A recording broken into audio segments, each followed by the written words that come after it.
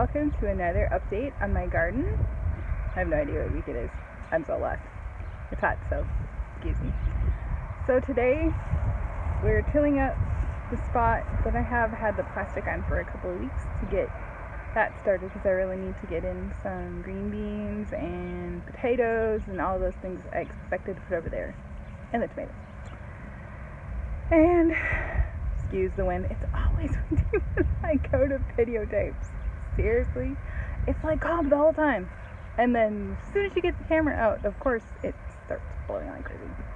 Anyway, so I'm going to show you my garden, and then I'm going to take you along as I pick my spinach. I have some spinach that's ready from my garden box that I showed you last week. So let's get started.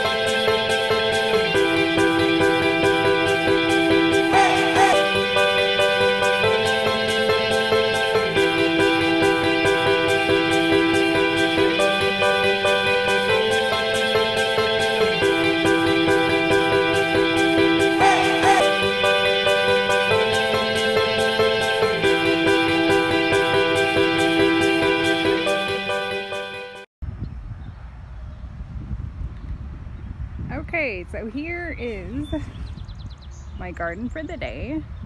Of course, now it's windy. It wasn't windy till I got here, but didn't do a whole lot on this side, but a lot more is up. So now I started weeding on the front on this one. You can see there most things are up now, so I can actually go through each individual row, at least halfway down there, and weed that next time I come, hopefully. I always say hopefully because it doesn't always work out how I want. And if you can see all the way around this side, around the edges, you can see that I had my son till all the way around with a little tiller. I'll show you that later when we go past it. And the tomatoes are still doing good. And the strawberries, my mom actually found a few strawberries. This is my corn that I planted, I think it was last week. It's already up. I don't know if you can see that. But I'm so excited because there's, I think it's 22 or 24 rows of corn. And then that there is the black plastic that was over there. And I can see we have um, my uprights up there for the green beans and I put my cucumbers and my sweet potatoes and I'm trying to think oh I put squash and stuff over there. I put that black plastic was what was at the end over there before I just switched it because the and I can see that I forgot to put something on this end. I'll have to go get something to put on this end to keep it. The plastic I'm trying to kill out that horrible grass. But as you can see finally got this section done. I've been waiting to do this section so I can finish up but I can show you this. I didn't plant anything in it yet, but I put, these are posts with, I think this is corn crib panels. Not exactly sure what everybody else calls it, but that's what I call it. I grew up on a farm and that's part of a corn crib. But there's this open section. This is going to be hopefully the potatoes and I think whatever else I have left, I don't remember. That piece of plastic back there is going to be my tomatoes. So that's why that's there. I haven't put anything in there. I just put it down today. So I really just have this spot that I'll have to till up before I can plant in it probably. Unless I'm faster than I think I'm going to be this week, which yeah, probably not gonna happen. But anyway, I'm just excited to get this plastic moved over here because this was, even though it got tilled, it kept getting weedy. But as you can see, the strawberries are blooming. my mom, I think I told you my mom actually found some orange ones. And we need to do a little bit more weeding. Got some done, but see? I hope you can see the tomatoes, the strawberries. Can you see them? Not the red ones yet, but they're coming. And these are the raspberries that I moved like two weeks ago or something like that. So they're coming. These are the ones in the middle are the thornless ones that a friend gave me. And I'm excited to see those because anything without thorns sounds like an awesome thing for me. It's gonna show you a little bit over here. Some things are up, but not everything.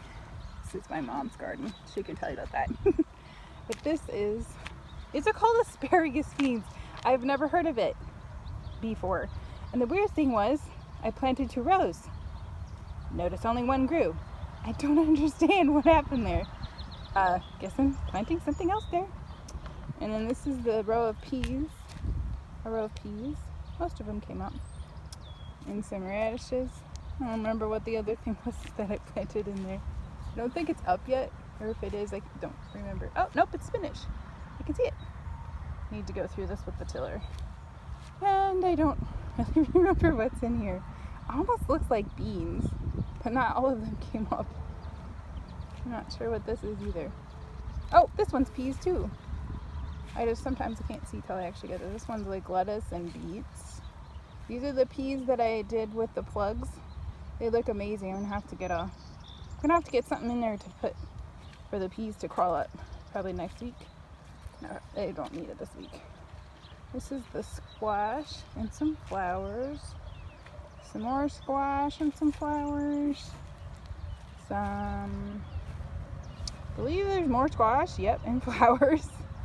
And this is onions, and then I have daffodils in here. And then, I don't remember which cole crop is in here, but there's one in here. I don't know. It's hard to tell exactly where they are in the onions. Another cole crop in the onions. Actually, I believe that one is kale. This one, either kale or broccoli. One of the one of each. And then this one is cabbage and onions, and this one should be cauliflower and onions. I don't exactly remember what's in here. Some carrots probably. Yep, carrots. Can't really tell what the other one is. After I weed it, I'll be able to tell. But this is where it's finally getting to the point where I can tell what's a weed and what's not. So I can actually pull weeds and be productive instead of pulling everything. There's some more. Looks like maybe kohlrabi and radishes or something. Usually put radishes in with carrots, so. And it's probably more of the same. And this is, I can see some lettuce in there with probably two different kinds of lettuce. That's what it is. And this one is peas and sunflowers. You can see the sunflowers. Don't know where the peas went. They're in there. I can see a few down there. So I'll have to see. What I will do is if, when the peas are done, I will usually put something else in there. I don't know. If it's got sunflowers, I may just put some pole beans or something in there because the three sisters like each other. I don't know. But we'll see. I'm planning on putting the pumpkins in with the corn.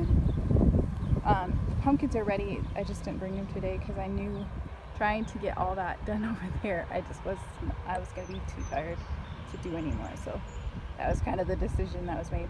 You can tell it stormed last week, knocked on all my markers. So I'm going to have to pick those up and plant them back in there.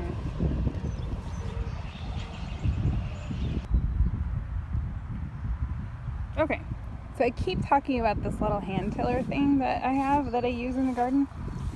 I've been told this is my grandma's, but I don't know. I'm just assuming that it is. But it works really nice. You push it and then it tills up the weeds. And this, actually, this one, I don't know if you can tell, it's got like little tiny things on it. So that works really good if you have to till up quite a bit. But most of the time, I do this. I flip it and then I just run just to get the little tiny little weeds up I till through that and it works so nice that's why I have actual rows over there and that's what I'll do with this and then I weed in between the rows maybe once or twice and that's it because this works nicely along with mulch. Anyway, I kept forgetting that I didn't show you. So I wanted to make sure I got, got to show you this time. It's a really neat little thing. I like it. Glad it's part of the garden to gardening tools. And just in time, because I'm out of my garden markers, my dad brought me a whole big pile of them. Woohoo! We'll see how long they last for my other section. So that's my garden tour for today. Thanks for tagging along, and I'll see you next time.